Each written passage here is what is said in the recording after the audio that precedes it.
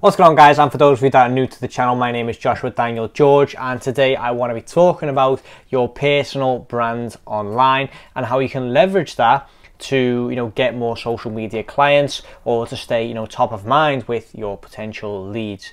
Okay now for those of you that follow me on instagram you guys know you know i do put a lot of effort and time into my feed and you know i'm very active on instagram stories. I post at least seven times a day. Yes the very first um, instagram story every single day is uh, you know a cup of coffee funny thing is um, i've I, you know i've stopped it for a few times where i've you know either not posted coffee or i've posted a, you know an image or a boomerang of me drinking tea and I immediately get bombarded with DMs saying, you know, where is the morning coffee?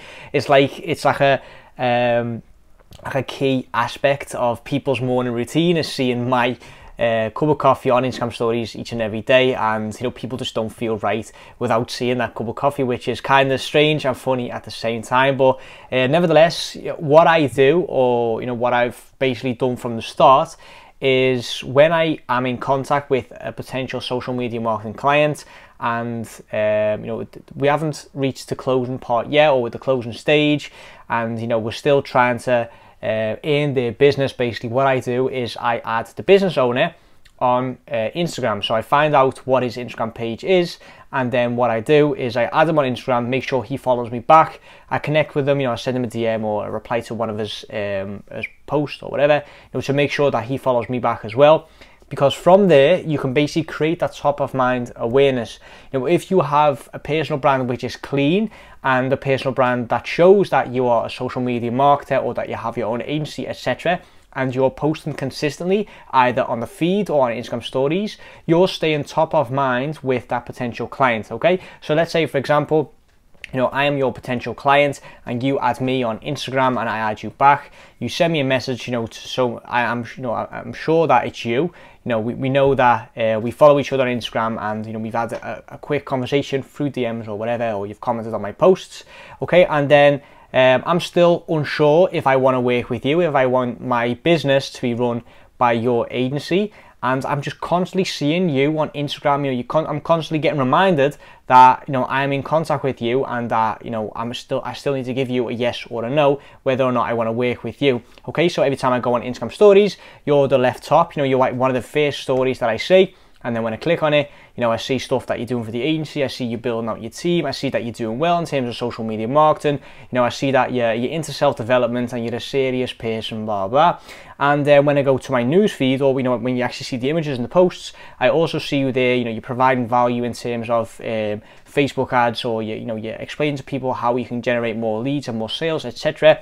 So you're constantly staying top of mind because every single time I go on Instagram, you know, you are there. And the same goes for Facebook, for YouTube, for Twitter, whatever if you follow the business owner on the platform that you're most active on, and you're constantly posting, you're constantly active on it, and I'm constantly seeing it. Every single time I see you on, you know, whether social, you know, whatever social media platform that you choose, you know, I'm just constantly getting reminded that I still need to give you uh, an answer, you know, a, a decision, and you know i'm constantly seeing that you are doing well with your agency which builds up trust you know builds up that authority position for you. And i am much more likely to say yes. Okay so top of mind awareness is something that you can create by connecting with that person um, you know, through your personal brands on mainly Instagram, but also on LinkedIn or Facebook and Twitter.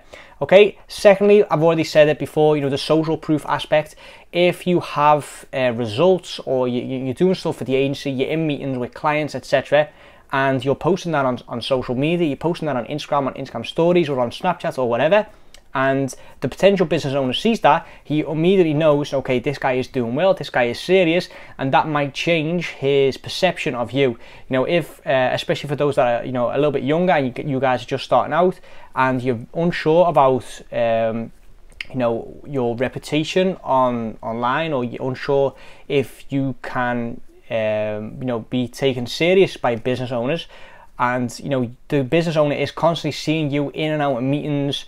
You know you you, you dress appropriate. Um, you know you're getting results. You're showing the back end of uh, the business manager whatever.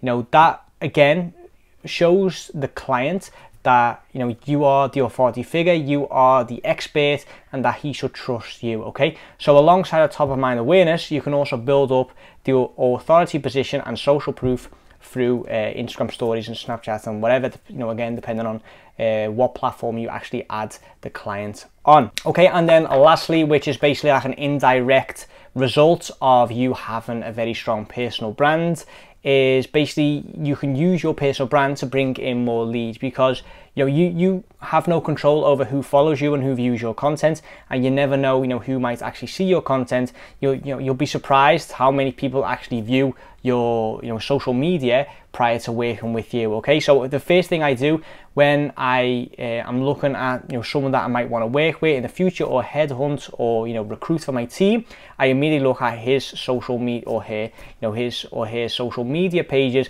I look at the instagram see what they're doing see what their passions are see you know what drives them what are they doing on a daily basis and that also works for you as well so if you're constantly active you're building up your personal brand or you're growing in followers you, you, you never know who's actually looking at your uh, profile and you might actually get some leads from it. You know, um, I, I forget who it was, but someone was mentioning Gary Vee, that Gary Vee is the type of person that does not actually sell to his audience and that is why his personal brand is so big. But the reason why he is doing that is because, you know, off the back of his personal brand, he can then charge 100k for public speaking. Okay, so, and what I mean by, by that is that you know, he's building up the personal brand so he can leverage for other things, and that is something that you can do as well. So if you have a big personal brand or you have a professional looking personal brand, you know, you can leverage that to get more leads and more clients. Okay, guys, so I hope you got something out of this. For those of you that are enrolled in the course, you know, you guys know there's an entire section on personal branding um, to help you, you know, get more leads and you know more social media marketing clients. For those of you that aren't in the course and are very very serious about taking action, and you guys want to start your own social media marketing agency, please send me a message on Instagram and we can see if you can work something out. Subscribe to the channel for more, and I'll see you guys in the next one.